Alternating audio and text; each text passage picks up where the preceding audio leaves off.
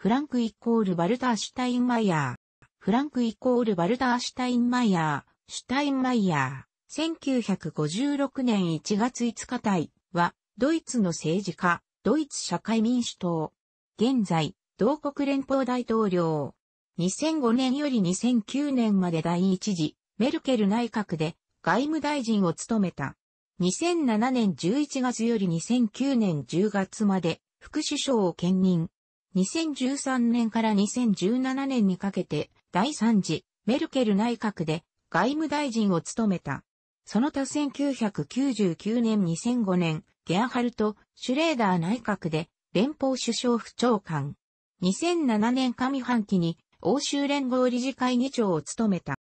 ノルトライン、イコールベストファーレン州デトモルト生まれ。父は木工職人、母は工場労働者。すでにギムナジウム在校中に、ドイツ社会民主党、SPD の下部組織である、社会主義青年団に参加。卒業後に兵役を済ませ、1975年に SPD 入党。翌年ギーセン大学に入学。1982年に司法修習生。1986年に国家司法試験合格。ギーセン大学で政治学、広報の助手として勤務し、1991年にホームレス問題に関する論文で法学博士号を取得。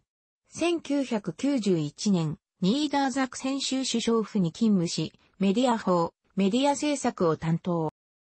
1993年、ゲアハルト・シュレーダー州首相の個人秘書となり、翌年その政策及び、水筒部門の長となる。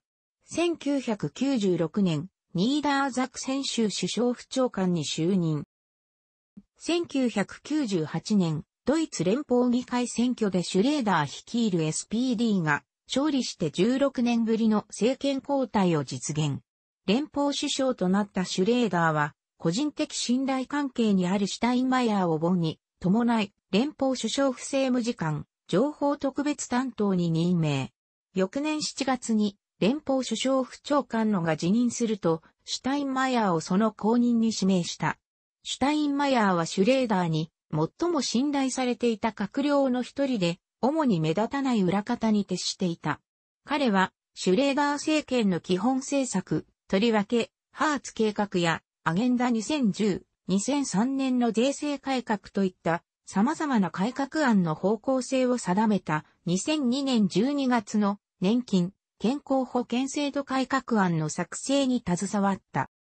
こうした痛みを伴う改革案は国民の不況を買い、2005年の連邦議会選挙にシュレーダーは僅差で敗れ、アンゲラ・メルケルを主犯とするキリスト教民主同盟、セディ及びキリスト教社会同盟、CU と SPD の大連立内閣が成立する。一般にはほとんど無名だったシュタインマイヤーがその外務大臣に迎えられたことは世間を驚かせた。イタリアのある新聞は、シュタインマヤーの写真として間違えて、新財務省のペール・シュタインブリュックの顔写真を掲載したほどである。この任命には、シュレーダーの強い意向が働いたと言われる。実際のところシュタインマヤーは、シュレーダー内閣で、最も政策に精通していた一人であり、かつて18年にわたり、ドイツ外交を主導したハンス・ディートリヒゲンシャー元外相などは、この人事を評価した。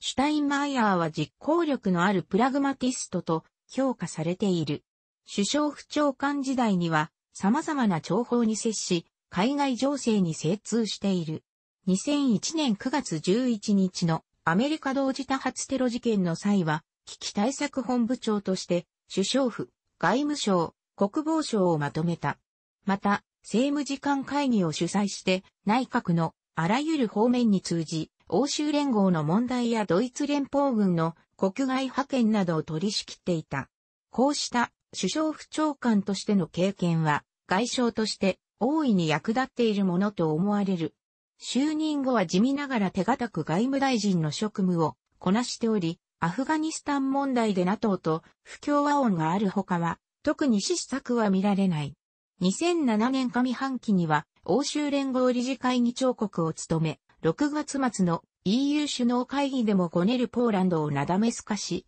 暗礁に乗り上げた EU 憲法に代わる新条約への道筋をつけた。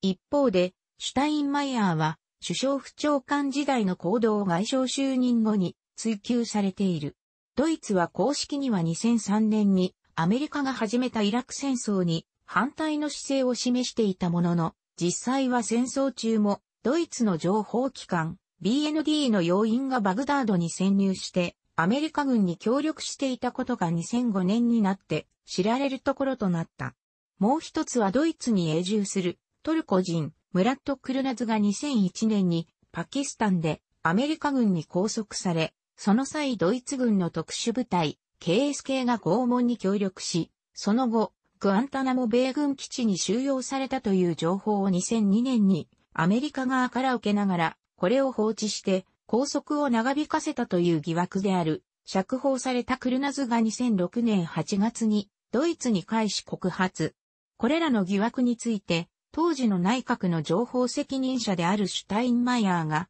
連邦議会の特別調査委員会の追及を受けたが、疑惑については、決断を下し得る情報を得ていなかったと否定している。2007年10月の SPD 党大会で、シュタインマイヤーは SPD の連邦レベルでの副党首に選出された。2007年11月に同じ SPD のフランツ・ミュンテフェーリング副首相兼労働省の辞任が発表されると、副首相に就任。それに合わせて、メルケル首相の対ロシア、中国外交の姿勢、とりわけ、メルケル首相が9月に、ダライラマ14世を首相官邸に招き、反発した中国政府が外交日程を一方的にキャンセしている事態を批判した。泥沼化するアフガニスタン情勢については、NATO が要求するドイツ連邦軍の活動範囲拡大に反対しているものの、早期撤退にも反対している。